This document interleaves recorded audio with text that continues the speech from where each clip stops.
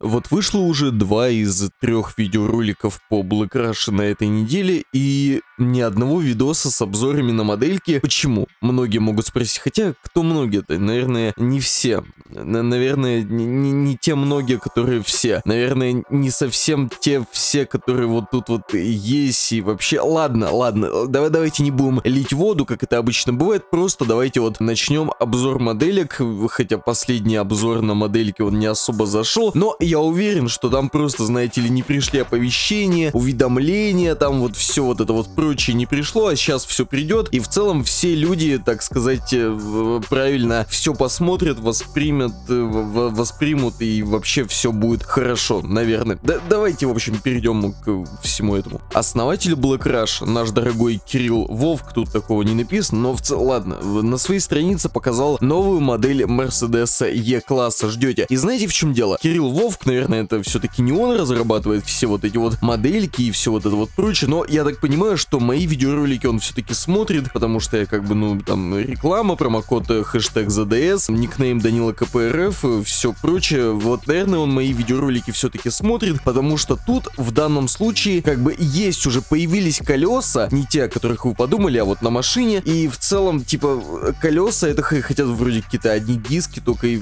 все такое, потому что в тот раз я сетовал на то, вот даже я сейчас могу, наверное, подсказка вылезет у вас там где-нибудь там справа, слева, еще где-нибудь, что я типа такой машина без колес, и сколько такая типа будет стоить, там 13 лайков, 8 дизлайков, чуваки такие типа, да ты чё, да это же просто показано все это, типа это же просто модель, типа скин, типа наработка, типа вот там типа, типа, ну типа Барак Обама, все прочее. А ты тут нам говоришь о том, что типа, чё, чел, ты вот вроде как обозреваешь модельки, а делаешь это так плохо. Почему? Почему? Те же типа за это деньги платят. А я могу сказать, что ну это же типа продающий пост почему нет? И тут все должно быть показано максимально, так знаете, реалистично, то есть то, как оно все будет в игре. И если тут, допустим, будет только одно колесо, или бог с ним, пусть будет два колеса, там типа слева и справа, а сзади колес не будет, то в чем тогда весь этот смысл? То есть вот тут вот посмотрите, колеса появились, да, с этим все хорошо, с этим все понятно, с этим все логично, с этим все типа вот так вот происходит. Но вот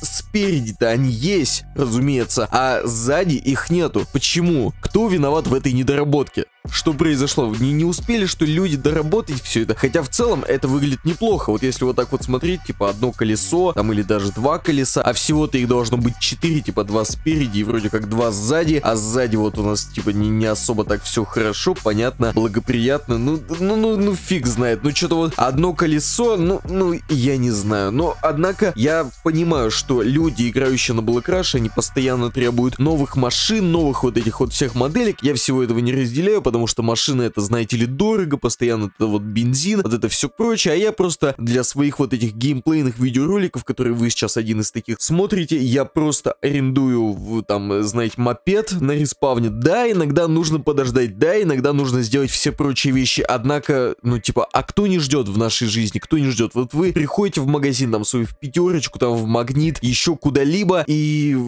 ну, ну, и ждете же в очереди, там, купили себе сырок глазированный, купили себе все прочие штуки и стоите ждете. И тут также, то есть тут ты стоишь, ждешь мопед, чтобы там, я не знаю, мопедов на карте не было слишком много, и чтобы все это не лагало. Это логично же, кто это вообще все не понимает. Поэтому я чисто арендую вот один свой мопед и на нем катаю, хотя я знаю, что вполне возможно, многим хочется там порулить машинкой, сделать прочие вещи, но перерастете все это, сами понимаете, там вам может быть, когда исполнится лет 14-15, вы все поймете и все вам станет более-менее понятно. Однако, ладно, я там снимал данный геймплей на проекте Black Rush, сервер Indigo, мой никнейм Данила КПРФ, а также мой промокод хэштег ZDS, он есть в описании данного видеоролика, заходите, там есть ссылочка на вот скачивание Black Rush, по ней тоже переходите, и все там как бы, ну, узнавайте. Всем спасибо за просмотр, увидимся тут же завтра, и я надеюсь, что увидимся мы тут завтра в 20.00, и ни минуты позже, ни секунды раньше, ну, сами все понимаете.